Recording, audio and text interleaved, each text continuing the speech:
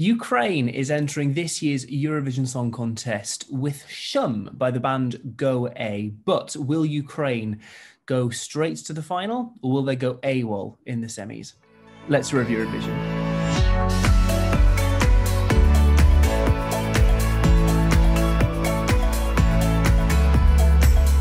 So, Ukraine is participating in the first semi final of Eurovision 2021. The band Go A is back with the song Shum, having tried to represent the Ukraine last year in 2020 with Solovey.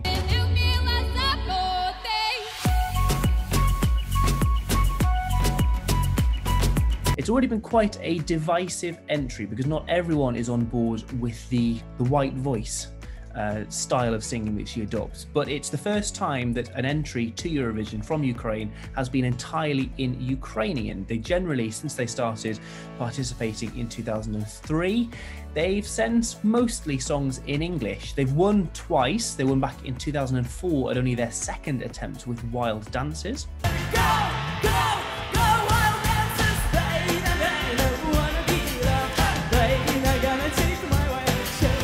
And then, after a string of second places in 2007 with Verka Serduchka, the iconic Dancing Lasha Tumbai.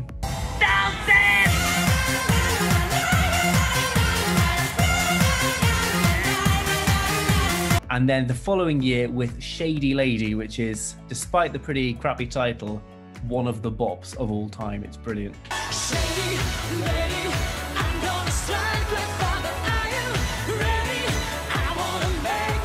And then in the 2010s, they've had middling success until their second victory back in 2016. It was a pretty controversial, uh, pretty anti Russia song that ended up surprising a lot of people and taking the victory.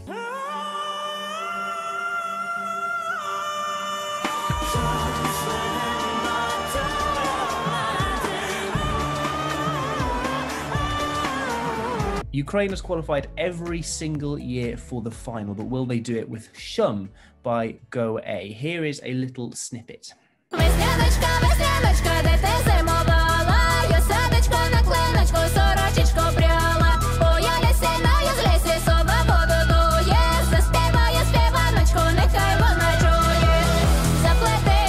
So that was Shum. What do we think of it, James? You first. Are you on board with with a bit of Shum? Uh, yeah, I very much am. I'm there, front row seat. Um, I'm here for it. I mean, I absolutely love it. I've got to be honest. It's absolutely barmy at times, but I think it's really, really cool. Um, I mean, at first I was thinking, you know, am I watching like a weird Ukrainian Mad Max or something that's been leaked?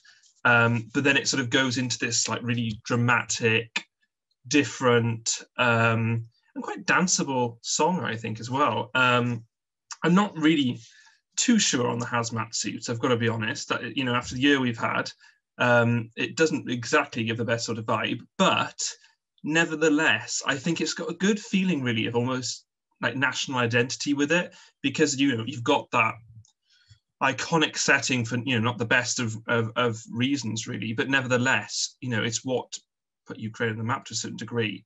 Um, and so having it there and then you know channel it into Eurovision, I think, is quite a different take on it. Um, and I do, I do like the sort of madness of it, and I think it could do quite well, to be honest. I mean, I did actually look at the translation of what they're singing, and that is equally as barmy. I'm not too sure if you've done it either, but it's all about sowing seeds and things, and you just think, oh my gosh. Um, but yeah, nevertheless, I love it for that. so positively barmy there, in James's opinion. Emily, are you showing similar levels of enthusiasm? Yeah, I think I probably am to be honest. I remember hearing it um because I mean this song, I'm not sure if it was actually initially meant for Eurovision because it was released originally as a kind of like four and a half minute song. And then everyone was kind of so crazy for it that they kind of revamped it um to kind of go to Eurovision. And when I kind of heard the revamp, you know, that kind of opening sound, it it took me straight back to like Davina De Campo's whistle note in a RuPaul's Drag Race for Breakup Bye Bye. We are the frog destroyer. So I was like, oh my god, how are we? How are we here? But uh, luckily, the rest of the song um, didn't quite give off those vibes. Uh, but yeah, I think it's a really interesting entry. I think Ukraine, obviously, I mean, they would have sent something similar kind of last year, um, and I loved Solovey last year. I thought I thought that was kind of really unique and interesting. And I think this year, it's kind of been difficult for entries who are coming back again um, to kind of give something that's you know unique. And although it kind of has like similar vibes to last year, I think it's different enough to kind of stand out on its own, which which is good. But yeah, I mean, James kind of summed up all the kind of fantastically barmy aspects uh, of this entry. And yeah, I'm really excited to see how it'll do. Yes, so broadly very positive there. I also quite like it. Um, I'm not quite as enthusiastic as you two. I think it's it's, it's certainly very very interesting, and I, I think I'm in the minority in actually preferring Solovey from last year because I think it was a little bit more, as as James said, there's something really nicely authentic and sort of almost native about this song and I think that was uh, more so last year. Actually, that sort of the real folkloric nature of Solovey last year, I really appreciated and I enjoyed about it. I think this is a, a, pretty strong song as well. It's enjoyable. As you say, there's quite a danceable bit towards the end. Arguably, that's maybe a little, it comes a little bit too late. And some people watching it may have just tuned out by that point. They think, okay, I get it now. And then it hits. And maybe by that point, they've already gone to the toilet, they've gone to make a cup of tea, they've gone to, you, you they might have lost people by that point. But I think this has got pretty manic staging potential, um, which last year's one did. Last year's was very understated in the way it was staged. She just sort of stood there and bopped her shoulders. But at least there's an opportunity for movement in this that there wasn't last year. So I, I do enjoy it. I don't skip it when it comes on. Not my favorite. The white voice, not my favorite thing in the world. The way that she sings, it's it's certainly better than Poland in 2019. That was god awful. That song.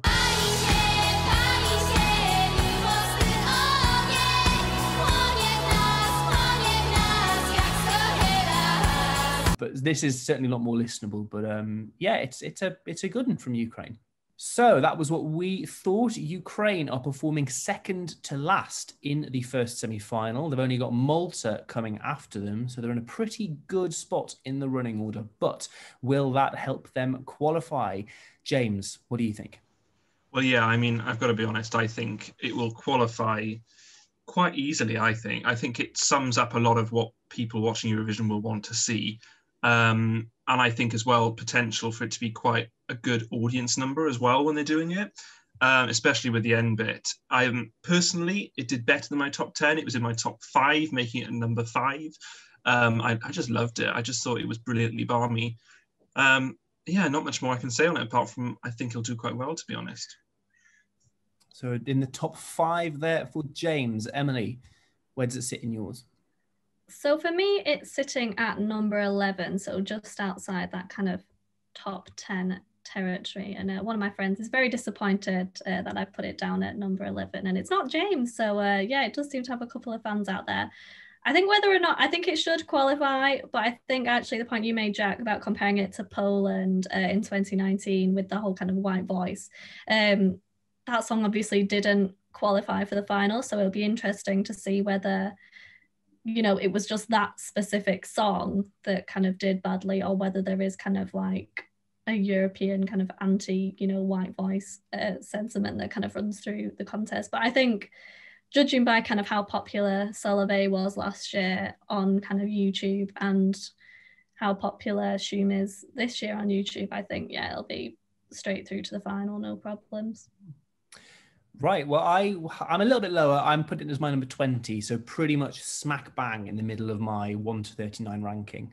I yeah, I do enjoy it personally. I do enjoy it. It's you know, as I said, it's something that I I don't skip when it comes on, but I do have concerns that this is the year that Ukraine will break their on sort of their qualification streak. Other than Australia, they're the only country to have made it through every time, and Ukraine has been competing a lot longer than than Australia. So Ukraine is is you know the, the qualification king, and I I do worry about this because to go back to the Poland point, Poland squeaked into 11th place. They almost made it to the final. I think there were a few points off, but they didn't make it. Admittedly, that was a significantly worse song. Like it, I, I, it was a miracle that made it to 11th but I worry because that the semi-final that one was a pretty bad semi-final actually there were not 10 songs that deserved to make it through in my opinion in that year so if that still doesn't make it if a song in this style still doesn't make it in a weak semi-final and this is a really, really strong one, I do have concerns about this will get through. If it does, it'll squeak in. If it doesn't, it'll just be outside. I think it's another one of these nine to 12 sort of position ones. So it's be interesting to see how it ends up. Altogether, though, our score for Ukraine is 36. So pretty good going. It's in the top, top, the upper echelons of our ranking, of our uh, reviews and rankings so far. So pretty good score there for Ukraine. If you agree with us, disagree with us, let us know in the comments. Just like, comment, subscribe, and if you do subscribe, make sure to hit the bell notification to get notified every time we upload new content. But thank you very much for watching, and see you next time at Reveurovision.